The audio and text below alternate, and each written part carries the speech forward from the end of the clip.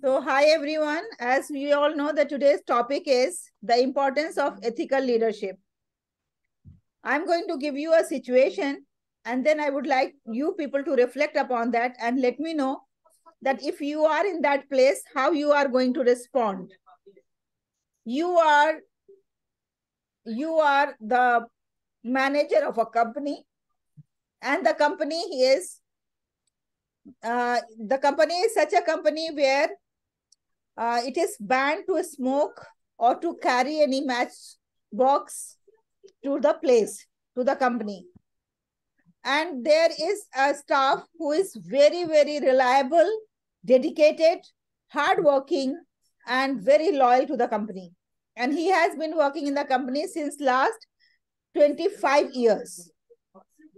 One day you were on your round and you were seeing that everybody is doing very sincerely their jobs.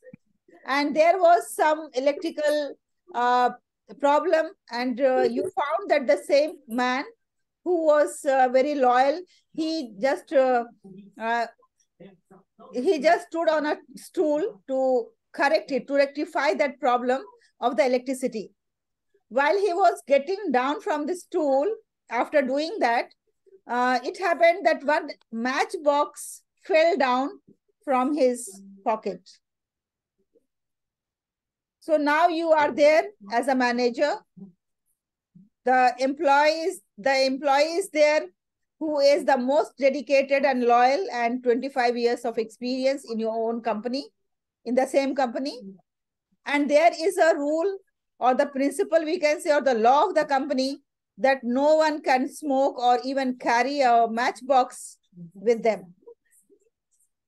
Now it's up to you, my dear leaders, that you all are in the manager positions and above position, manager and above position, that if you are there in the place of that manager, how you are going to handle the situation.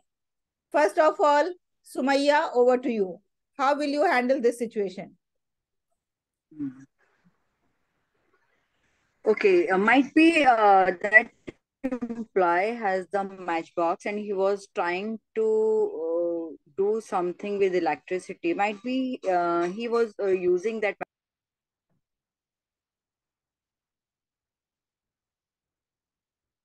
First of all, I will try to know what reason he kept that matchbox in his pocket. Then I will take the decision by. Uh, because only for that okay he has a matchbox. I cannot uh, uh, i don't want to think his uh, loyalty and uh, um, efficiency because he's a good employee. Might be he was using that, Thank you. Match, might be he was using that matchbox for uh, uh um, he was doing the uh, thank you sumaya for your input. Now over to you rizwana Yes, ma'am. Good evening, everyone. So definitely, I will first of all I will ask him ki like no, I will call him in a like uh, in my office, and then I'll I'll ask him everything like. Uh, uh, first of all, ask uh, is uh, like company rules and all कि कहीं वो company के rules भूल तो नहीं गए and after that I will ask कि like after 25 years आपसे ये first time ये mistake so definitely he will tell me the right thing कि क्या रीजन है? क्योंकि कोई भी एजम्पन करने से बेहतर है कि उनको प्राइवेटली बुला करके उनसे पूछा जाए कि आपने मतलब ये इतनी बड़ी गलती आपसे कैसे हो गई? Okay now over to you Seema thank you Rizwana for sharing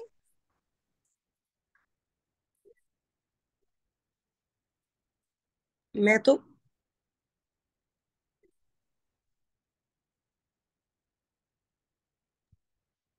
कल तीस हो गया Yes, Seema. Hello. Yes, Seema, please. Hello.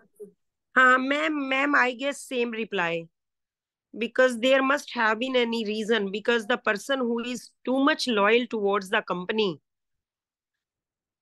there must be some reason having this matchbox. So he will definitely be called and he will be asked the reason. And if there is any genuine reason, means the person who has spent so many years in the organization Hello. Yes, yes, we are Hello. listening. Yes, we are listening. Yeah, yeah. Yeah, the person who has spent so many years in the organization, he has spent number of years because he is already loyal towards the company. He has given his whole life to this organization. And his point of view, listening to his point of view, listening to him is as much essential as company is. So I'll definitely call the person inside and he will be asked the reason behind that. And if the reason is very genuine, then definitely the favorable decision will be taken. Thank you, Seema. Thank you very much. Now, Anita ji, over to you. Yes, uh, Haleema, um, I look it into the two sides of the coin Uh, there could be a reason, genuine reason, as everybody said, but they also could be uh, something like he is addicted to smoking, could be, which was uh, hidden from the management, and suddenly it has come out, uh, you know, um, um, क्या कहते हैं उसे uh, unconsciously. Okay, he would have been very conscious. He may be smoking. So I look at the two perspectives. So as everybody said, yes, the ethics is call him to his uh, uh, my cabin and ask him what was the reason why were you keeping that matchbox. So what is the genuine reason? He should be very very uh, honest in giving the reason either for smoking or for some emergency. That is what two perspectives I see. Okay, so thank you very much, all of you, for your inputs and for your uh, own uh, ideas about this. I'm going to speak about this later. But before that, let us just speak about a little bit about ethical leadership. So uh, when we talk about ethical leadership, you know that without ethical leadership, there is no leadership. That is my firm beliefs. That if the leaders, they don't have trust, integrity, and if they don't have positive environment in the uh, work in, at the workplace, then there is no use of being uh, a leader. A leader means that you have to follow some ethics, some norms, and uh, some uh, principles that makes you uh, an effective leader. Leader. Now, first of all, if we talk about the values, there are many, many values. That's important. Here we are going to speak about some important values. Out of those important values, I think that integrity is the most important value what we do, what we say, what we intend, what is in our heart, what is in our tongue, everything has to be the same. There won't be any difference. There should be 100% transparency and consistency. It should not be that today I'm going, uh, saying something else, tomorrow something else, and today my principles are something, uh, some other things, and then tomorrow it is going to change. No. So integrity is the important thing. And that's the reason why leaders always set the example for others and they live to the principles.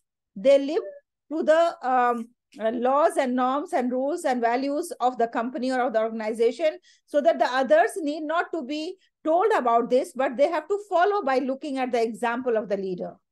And in this way, the leaders, they build trust of the people because when the, the followers see their leaders practicing punctuality, practicing transparency, practicing honesty, practicing consistency, practicing equality, practicing uh, no biasness, and then naturally they all build trust in the leader and they are ready to share everything with the leader.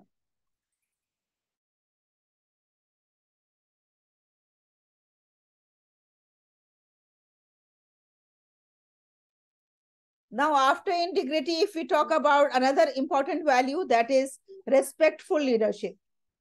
So respect means that we have to give due regard and respect to all the human beings, whether they are of certain race, certain region, certain religion, certain um, certain uh, beliefs with certain belief system. It's up to them, but we have to give them due importance. And we have to give the importance to the diversity and inclusion. Everybody is important.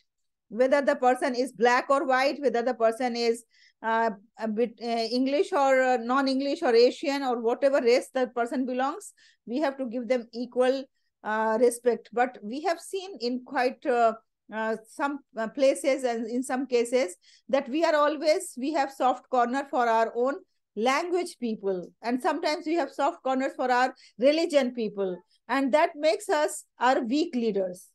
There, there should not be any consideration on the basis of language or religion or region. Because you know, sometimes we will have south north uh, uh, south north biasness. Sometimes we will have mm, the Hindu Muslim Sikh Isai biasness. Sometimes we will have uh, Hindi speaking, non Hindi speaking uh, biasness. So these type of things we have to leave because leadership is above all these things. If we are if we are the leaders, then naturally we have to uh, respect each and every human being, each and every person who is in our contract then we have to establish a positive work environment. That's only possible when we respect. It should not be that i remember that when i, I was in delhi working with hamdard public school. So there was a problem of the road. The road is very narrow when it goes from main roads of sangam vihar to talimabad campus. So that road is very narrow and always over congested so we wanted to just widen that road and we went to meet one um, IAS officer and uh, that development officer, uh, Delhi de uh, development officer. And when I went over there, uh, we waited for him for 10, 15 minutes. That's nothing uh, like, uh, that's nothing to be mentioned here because it is always that people, they are busy, although they give time, but sometimes they are busy and they make us wait. That is not an issue. But when we entered in his cabin, I don't want to mention his name, but his name is still I remember. Why I remember? Because the thing I have seen over there that in his cabin, there was mm, a gentleman who was 65 or 70 years old, maybe 65 years old, but looking like 70 years old. And he was like attendant. And uh, the young gentleman who was the IAS officer, that gentleman was, he was very young, maybe in his early 30s. He was so young. And he was scolding him and he was yelling at him so badly that even I felt very bad. As visitor, I felt very bad that even if the person is a peon or attendant or whosoever, but he has respect, he has self uh, regard, he has, uh, we should not uh, make them like this type of uh, humiliation to the person. I really felt very bad and the the respect I had for that IAS officer has drastically gone down in my uh, opinion in my eyes because uh, that is not expected from a person who is of that caliber who is of that position. So that's why we have to have the positive environment by respecting each and every human being. Then collaboration and teamwork. Sometimes what happens that when we are collaborating and we are having the team spirit we have to sacrifice little bit you know maybe sacrifice our fame sacrifice our name sacrifice our hard work. When we are in the team, naturally, some people are more hardworking, some are less hardworking. Some are more talented, some are less talented. But the credit goes to each and everyone equally. So at times the leaders, they think that, okay, why I am doing more and others are not doing that more. Why everybody should take the credit equally? That should not happen. It will happen when we are in the team. Some people will work more and some will work less. But the team must go on. Alone, we cannot do the things as we can do in a team. So collaboration and teamwork, it's all in the leader's hand. Then for the ethical leader, accountability is important. In, in many organizations, I have seen that the people, they believe in the blame game. You know, if anything goes wrong, everybody will blame others. Superior will blame the juniors and it will go to the lowest person that it is his fault. When wherever i was like working uh, i joined one uh, of the organization where i found that the people were like they were afraid of admitting their mistakes as if that if they will admit their mistake they will be thrown out of the organization. But there i was the first one who started accepting the mistake? I started accepting my own mistakes. And i said yes this was my wrong decision. This i made a mistake in the morning that it should have not been like this. Then slowly and gradually i found that people started speaking up about their mistake. Otherwise everybody is blaming to others instead of saying that yes i would have responded i would have responded to the issue i would have responded to the parents complaint i should have listened to the parents complaint everybody was just blaming to the junior person junior than them. Then the junior is blaming to some uh, other person. And in this way the blame game was going on. That happens when we are not accountable. We just come for the work and go. We don't think that this is my responsibility and I'm accountable for each and everything happening here. Even today morning also, I was very angry with one of the staff in Delhi. Something happened with the purchase of books or sale of books. And I'm asking them, in fact, the head has already resigned from the organization. So the second head, head has taken over. Then I was saying same thing that when you have taken over, naturally you must have taken the account of that. Now, this time everybody is saying, she left, she left, she left, she left. We don't have anything. We don't know what happened. We don't know any account about this. We don't know how many books sold and how many books uh, uh, returned and how many uh, payment made. This is just because the people are working only for the sake of work. They are not working with accountability and responsibility. They are working for the work. They are working for the salary. So we have to hold ourselves responsible at the other time there are people who will always like if, if a bomb is uh, uh, thrown into hiroshima the people will think that it is because of me. You will find that type of people also. For everything they will blame themselves. This is my mistake. Because of me it had happened. That should also not happen. As a leader we should know that who has to be held responsible. Because it will happen only when we are very much good into a strategic planning. We, we plan the things. We plan the things at micro mm-hmm. level and then we have to divide the responsibility and fix the responsibility to the people. Then we can hold them accountable. It will happen in that case. So if anything goes wrong, naturally, morally and ethically, the head is responsible. But for that particular section, there is one particular person who is responsible. And we have to hold that person responsible. So this is very, very important for being ethical leader. Then empathy in ethical leadership. Yeah, I must say that this, I was lacking this aspect very badly if I talk about like 10 years ago or 15 years ago. You know, it was like I was very much into highly ambitious person and uh, everything, every work, whatever I do and wherever I work in the school, in the organization, I used to think that it is going to be on the top. That was my mission. And that's why I used to be very, very strict with the people, very, very strict with the, with, especially when the people are taking leave from the school. It makes me furious. It makes me like, I used to think that why the people that take leave, they can manage the things. But now I realize that there are certain occasions where they cannot manage, where they have to where like if if the child is not well and if somebody's child is in the hospital i cannot expect the person to come to the school. Even if the person is coming to the school the person will not discharge uh, will not discharge 100% then it is of no use of calling the person to the school. So empathy is very important. Caring for others effective communication increased motivation every day when you come to the school, when you come to the organization, a beautiful smile on your face, a broad smile on your face will motivate each and everyone. And the way you wish the people like good morning or whatever way, namaste, assalamu alaikum, that has to be full of energy. And that energy released from you will transfer to the people whosoever is working around you. Mm. So one leader is enough to radiate energy among thousands of people. It all depends on you. There are some people I have seen early morning, they will go with a long face. If somebody is wishing good morning, they will just nod their head and go and sit on their chair and then waiting for the people to come with their issues and problems to solve. That is not the leadership. That's not empathetic leadership. Empathetic leadership is that when you want, when you want that how I wanted to be treated, similarly the people want me to treat them.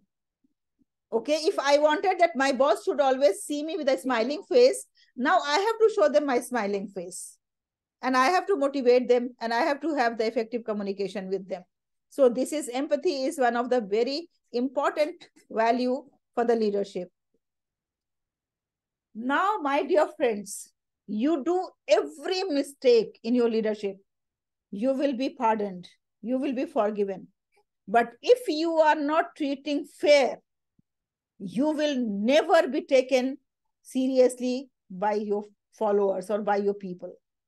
This is something the people, they just hate if they are not treated equally. And it had happened. I have seen mm-hmm. myself.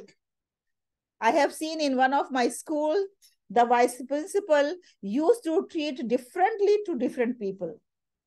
There were two, like two favorite people those who used to miss all the classes sometimes not going on time not submitting the lesson plan not submitting the things on time but their names were never sent to me. Instead all other teachers names were sent to me to so that i can issue the warning letters or i can call them for the counseling or other things. And that makes the person a worse person. The people they don't like this at all. Even if your your own son or daughters are working, your own relatives are working. At the workplace, everybody is equal, and we have to treat them equally. This is called fair treatment, and that's why we have to eliminate the biasness. We have to promote diversity, and then we have to have equitable policies. For the policy is for everyone. Now the role of courage. Courage is again a value that cannot be neglected. If you are courageous, you will take the decisions. Right now, before starting the session, I was discussing with Anita ma'am that there are people who are like who are afraid of taking the decisions quickly. You know, it is said that justice delayed is justice denied. If you cannot take decision on time, it means that you are incapable of being a leader. We have to take the decision and that requires courage. If you have courage you can take the decision and you can move ahead. You can inspire others. Even if your school is in the pathetic condition even if your organization is going into loss even if the things are totally up, ups and down totally going against uh, the expectation but your face should always give the positivity and you have to uh, project in front of the people that yes everything is fine and everything is going to be all right by the end of the day and that courage that uh, inspiration they should receive from you. And then in the ethical leadership we always uh, think about the sustainability and long term. It is not day to day benefit that we are thinking but we are thinking about that how it is going to be uh, helpful for the organization to gain the long term gain where, where the school is going to get like uh, quality education. It is not that for the admission sake i can change my principles i can change my ways i can start doing the bollywood songs in the school so that we can attract the crowd and we can have more admissions. If it is against our policies that we should not promote bollywood song in the schools instead we should go for the quality based value based songs then we should be stuck on that because that is going to give a reputation to the school that is going to give a, a long-term benefit to the school sustainability to the school. So we should always think about the uh, sustainability. Then ethical decision making that i have already spoken little about this that we always should have the before decision we have to think that how this decision is going to be helpful for the organization, not for the person. We have to think only about the organization's benefit and uh, welfare. So, dear friends, these are some of the values that is like important. And without this, I don't think that it is important that we will uh, be having the leadership, uh, effective leadership. So, we have to follow these. Uh, that Uh, that's all from me. Now I request you all to kindly uh, ask questions if you have any questions related to the ethical leadership. Otherwise, then uh, we will go to the, we will discuss the challenges. I would like to share something from my own experience at the present where I'm working. My, the chairman is uh, he basically is an Hindu. He has embraced uh, Islam. Okay, he has uh, adopted Islam. Now, what is happening is uh, when we are in the uh, educational uh, organization, we need to take care of different diversities, right? Different uh, cultures, different religions, different festivals. But here, what he does is he doesn't celebrate Hindu festivals, saying that uh, ours is more of Muslim clientele population. So he says, uh, ma'am, parents will not like it if we celebrate Hindu festivals. I said, why when we are celebrating Ramzan, Eid, and whatever, you know, uh, Muslim festivals, then why not? He says, then you take only Hindu children and make them do that uh, Ganesh idol and tying the Rakhi and all that, you know, which is which is totally against my uh, ethical what we have just spoken what haleema you have just spoken the diversities we need to respect everybody so that is what is happening right now in my school where i'm working which i don't like it but as an employee i have no say into that but slowly see we need to educate our parents just uh. I'll give you another small example. Before snacks, I have made a prayer for the children. Um, you know, uh, uh, good morning. Uh, uh, thank you, God, uh, for the lovely food we eat. Thank you, parents, teachers, and I am us. Thank you, God, for everything. Now, one parent came and complained, why are you people asking uh, the children to join their hands and say the prayer? I said, joining our hands or not joining the hands is not important thanking God, thanking each person, including IMRs, is very important. If your children are not joining hands, that's fine. We are not compelling them. Then what my chairman did, he called the teacher and he said, "What is that prayer? I'm getting complaints." Then the teacher wrote the whole uh, this thing, you know, prayer and said.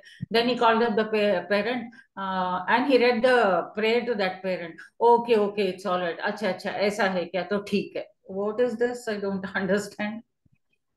I mean, these are all ethics, Haleema, and the group what I'm addressing. Yes, yes, you are, you are right. You are right very much, Anita ji. I am 100% with you.